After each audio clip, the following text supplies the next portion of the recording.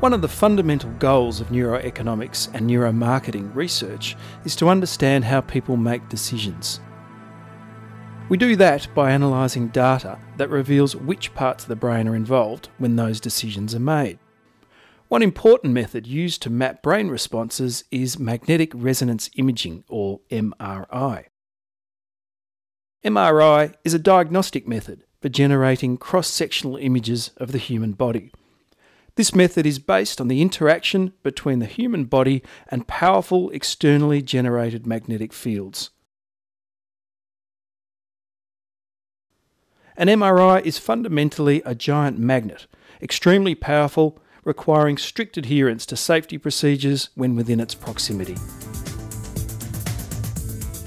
This short video explains the MRI process and outlines some of the preparation and safety precautions required to perform fMRI research.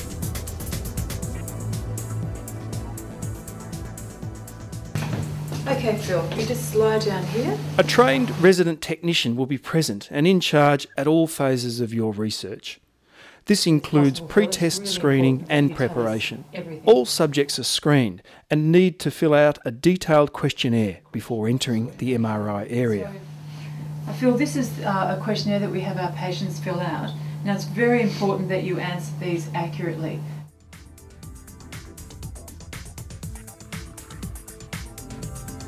Each fMRI procedure takes on average 45 minutes to complete, which can be a long time in such a constricted space.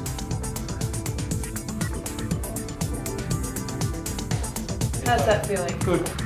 Phil, if you're feeling a little bit uncomfortable, just give this a bit of a squeeze. There are two things a participant is given just before they enter the machine a rubber bulb, which they can squeeze to stop the procedure if for any reason they are uncomfortable, and a button box to perform the task they were allocated. Now, Phil, this is the button box for you to make your decisions with. The red button is for the left, and the yellow button is for the right. It's preferable the subject doesn't move in the machine, as it will affect the quality of the data that is captured. Ideally, the research participant will not move their head at all. Lost data is unnecessary, costly, and time wasting.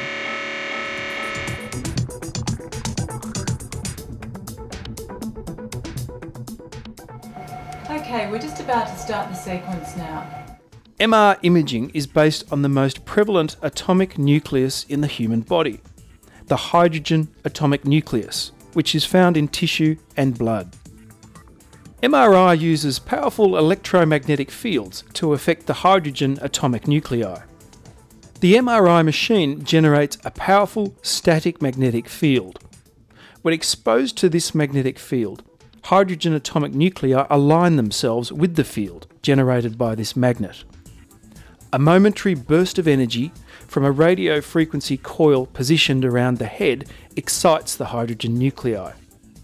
When this energy pulse is turned off, the nuclei return to their resting state and release the energy that was stored during the pulse. It's that release of energy after the nuclei have been excited that is detected by the scanner and becomes the source of our data.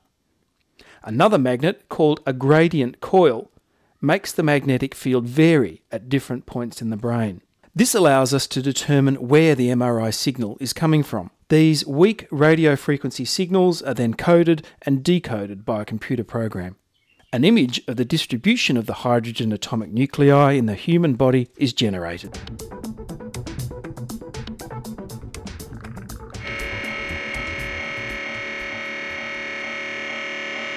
The start of every scan begins with a structural scan of the brain.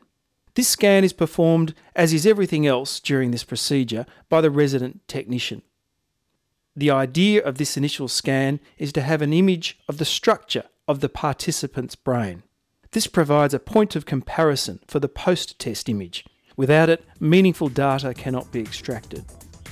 However, what an MRI doesn't reveal is which parts of the brain are involved in different types of thinking. For this, we need to examine changes in MRI responses that occur when different parts of the brain are involved in performing a task. Functional MRI, or fMRI, examines these changes in brain responses. What an fMRI can accurately record is the BOLD response, which is the blood oxygenation level dependent activity that we record.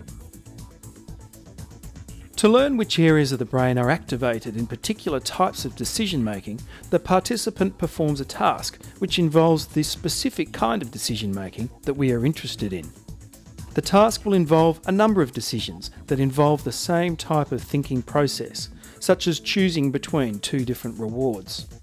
Functional MRI images captured during the task show brain regions that require more oxygenated blood during the task.